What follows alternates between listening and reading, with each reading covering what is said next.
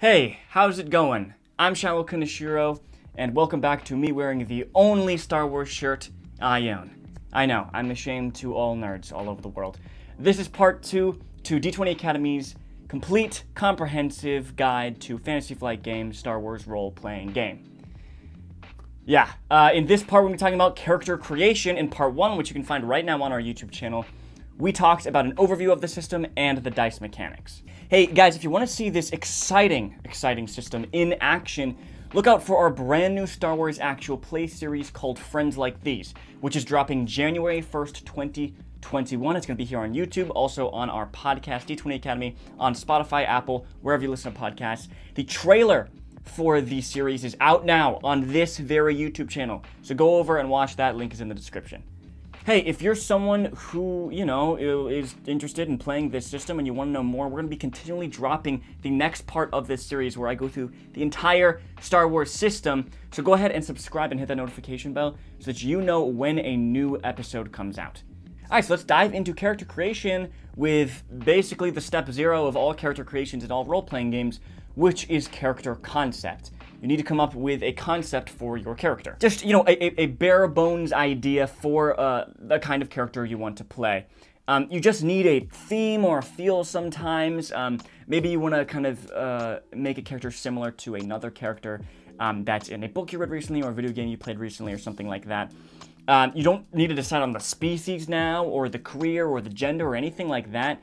Really, all you need is just the bare bones basic, like what's the concept? What are you trying to build? What's the direction you're thinking of going? And then in the rest of the steps, we will flesh out the details of that.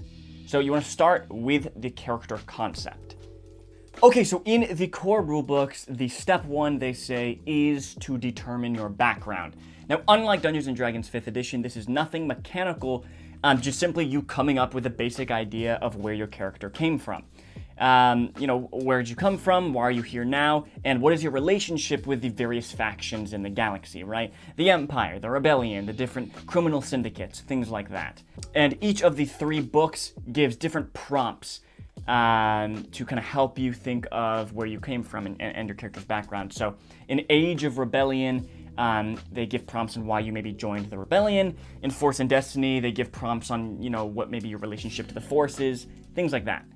Step two of character creation is to determine your obligation, your duty, or your morality. It's one of those three things depending on which of the games you're playing. Once again, Edge of the Empire, Age of Rebellion, and Force and Destiny, they're all basically the same system. Um, even though they have different core rulebooks and all that kind of stuff, they're really just the same system. The only difference comes down, really, I, I would say, to these uh, these things here. Okay, so what exactly is each of these things? Well, first of all, obligation and duty, they kind of work around the same system, and you can't really have both of them working at the same time. So you can't really have a smuggler in the party wanting to use obligation, and then like a pilot from the rebellion wanting to use duty, because they don't really work together. You kind of have to choose one or the other. And then any force-sensitive character can use morality.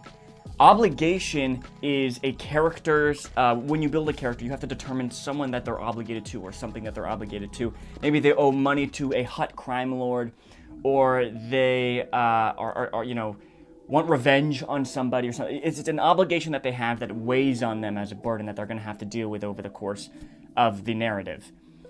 And this is actually explained deeper on page 38 of the Edge of the Empire core rulebook. Um, but essentially, everyone in the party determines an obligation, and this obligation is a set number, um, typically an average of like 10 to 15 at character creation. And this fluctuates. It grows the more obligation you take on, and it lessens the more obligation you relieve in the story. And this has a little bit of a mechanical benefit at the beginning of each session, essentially. You roll a d100, and if it lands within that range of numbers, um, then characters uh, have their um, strain threshold reduced, which you probably don't know what that means yet. That's okay. We're going to get into that later on in today's uh, episode. But essentially, it means that uh, it's harder for them to, to sustain strain.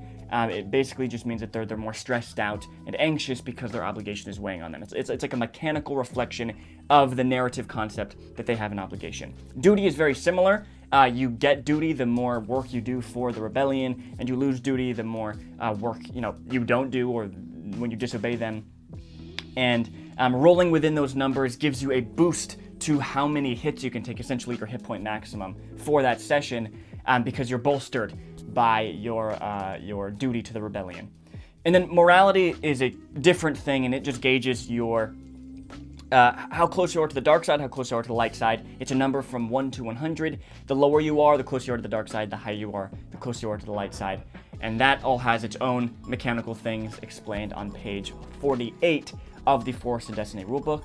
Duty is explained more on page 46 of the Age of Rebellion core rulebook. Okay, step three is to select a species, which is kind of like choosing your race in Dungeons and Dragons. Um, you know, are you a human or a droid or a Togrutan or a Wookiee? You know, your species. And your species gives you a couple different things. One, it gives you your starting attributes. So as we talked about in part one, you have a couple key defining characteristics um, that are called attributes. So um, there's brawn, agility, um, cunning, intellect, presence, and willpower. And every single character has uh, different scores for all of those. Um, and, you know, obviously the higher score you have in brawn, the stronger in B for you you are, and the higher score you have in intellect, the smarter you are. Um, just like in D&D, you know, with the ability scores, like strength, dexterity, constitution, that kind of stuff.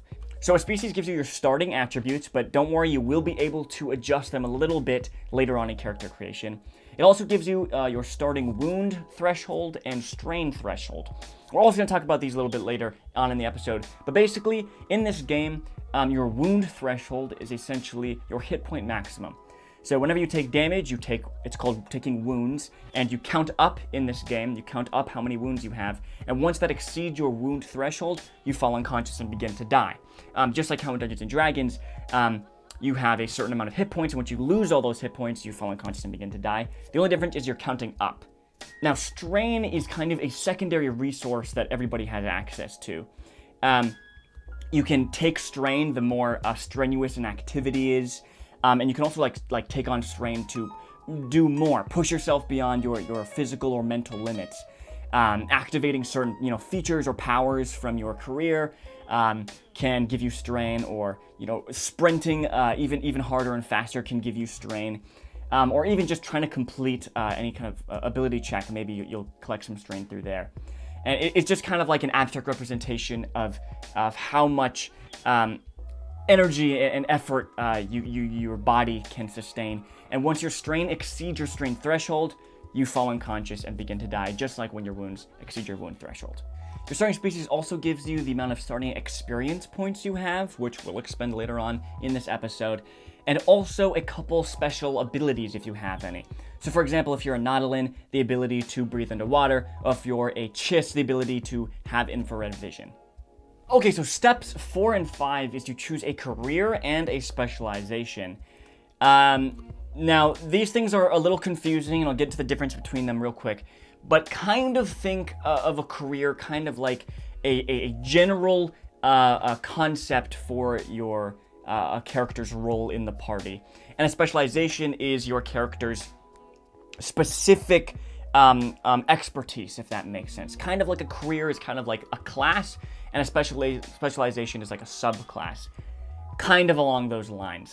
Um, well, what you want to do during this step is, you know, as, as, a gaming group, decide what kind of role every person wants to fit in the party, um, so that everyone can have their own strengths and weaknesses, and everyone can cover each other's bases, um, so that you know, no no two characters are too alike, that they constantly come in conflict, um, and that none of them feel really special in the game. That, you know, maybe you have some sort of technician or mechanic or engineer, maybe you have someone who's a diplomat or a leader, you maybe have a pilot, um, some kind of soldier or tank. Um, you want everyone to be able to fit a different role in the party and be comfortable uh, and, and happy with the role that they, they choose in the party.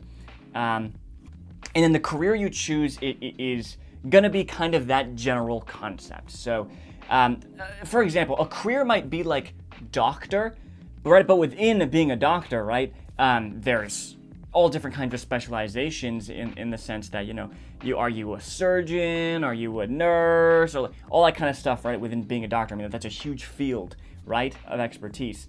So that's kind of what your career is. So maybe your career is, uh, you know, like a pilot or a diplomat or an explorer. And then once you choose your career, um, it, it's going to give you a couple uh, starting career skills, which we'll get into in a second. Um, and it's also going to give you a list of specializations you can choose from. So what is a career skill? Well, if you look at your character sheet, there is, you know, a bunch of skills. Um, And each of those skills has a little empty box next to it. And if that box is ever checked, it means that that skill is a career skill for you.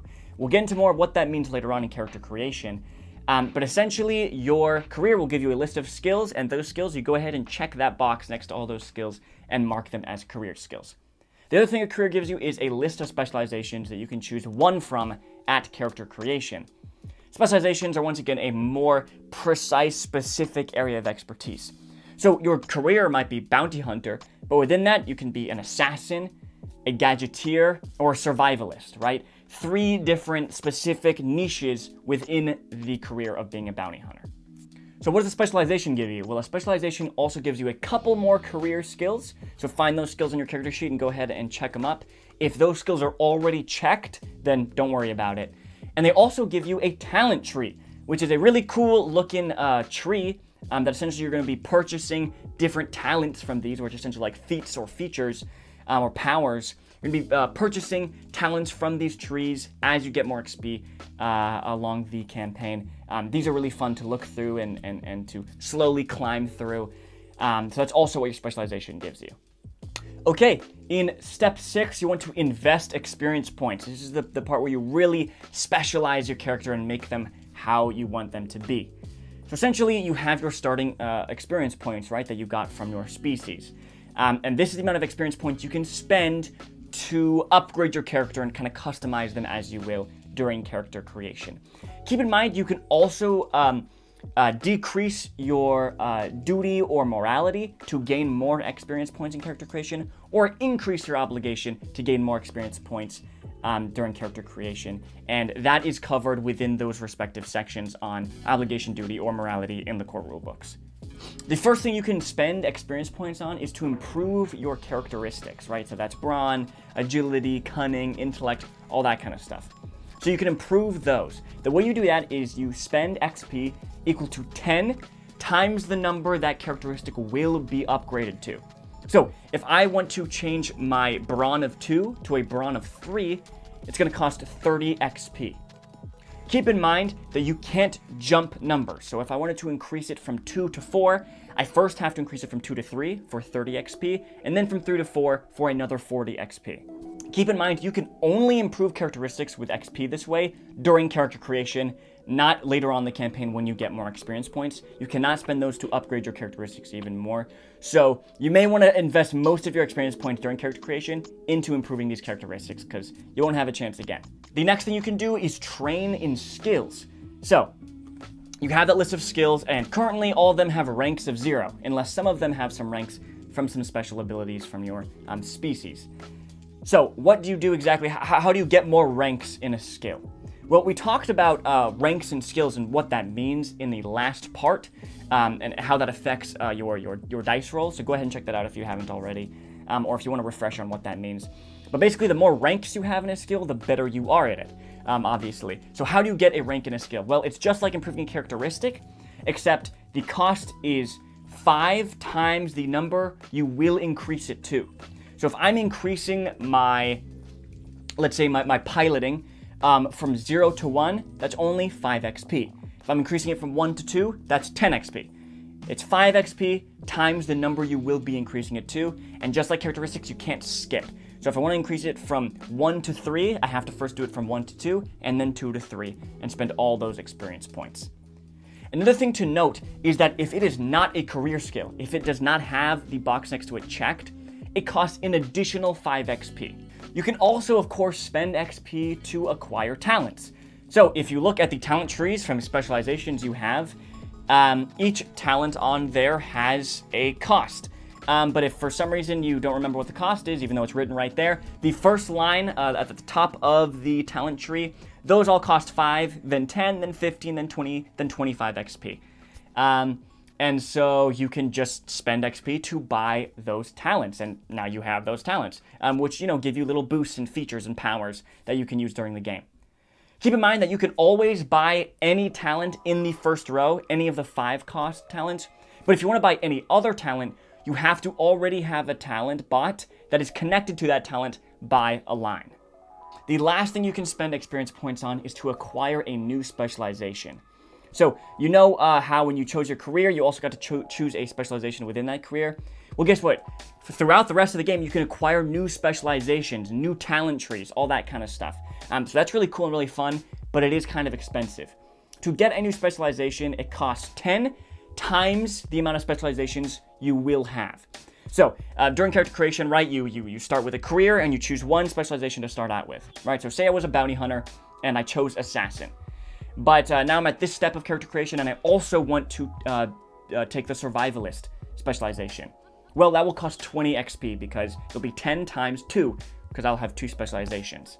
Okay, remember that um, if you want to get a specialization that is not in your career, it costs an additional 10 XP. So, if I am a bounty hunter, that's my career, and the starting specialization I chose was assassin, and then I wanted to get the scholar specialization, the scholar specialization is actually from the colonist career, not the bounty hunter career. So that's going to cost me an additional 10 XP to acquire that specialization. Gaining ranks in skills, acquiring new specializations, and acquiring new talents, you can still do all of those throughout the campaign. Uh, with the more XP you gain during during your adventures, you can spend those on these things. The only thing you can no longer spend XP on after character creation is improving your characteristics. Okay, so step seven is to determine your derived attributes. So the stuff near the top of your character sheet, um, your wound threshold, your strain threshold, your defense, and your soak. Well, your wound and strain threshold uh, should be determined by a number determined by your species, and then your brawn and willpower. So if you're a human, your starting wound threshold is 10 plus your brawn, and your starting strain threshold is 10 plus your willpower. Your defense is uh, a number that makes it harder to hit you. Um, so essentially, um, whenever uh, we're going to get more into combat and things like that in another part of this series, um, but essentially, anytime anyone wants to attack you, um, depending if it's a melee attack or a ranged attack, you have two different things a melee defense or a ranged defense. Depending on what that is, whatever your number is in that defense number, um, that's how many black dice they add to their roll. So, if you have a melee defense of 1 and someone's attacking you with a melee attack, that means they add 1 black to their roll. Your defense starts at 0 for both melee and ranged, unless for some reason you have it from like a species or or um, from a, a, talent or something like that. But usually this starts at 0. Um, only when you buy armor and things like that will you start getting defense, typically.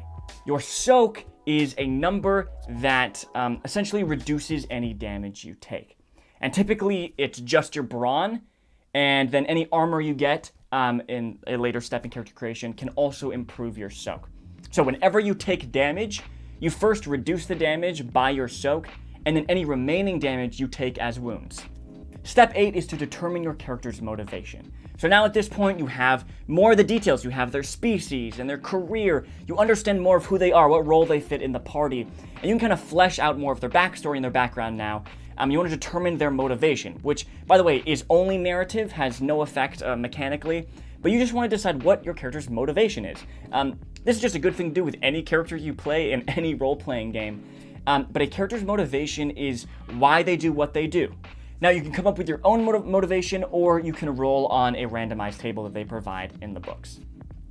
Okay, so step nine is to get your gear and appearance. So figure out what your character, you know, looks like, what they're wearing, and then also get their gear, right? Their weapons, their armor, their equipment, all that different kinds of stuff. We'll get more into gear and all how all that kind of works in part three, the next part of this video series.